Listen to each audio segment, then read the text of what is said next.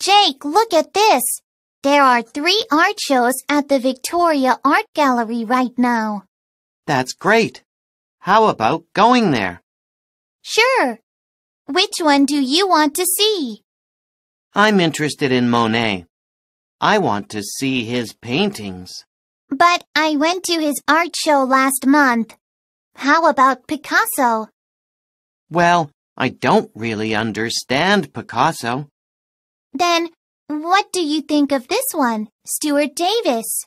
I think his painting looks interesting. Let's go to his show.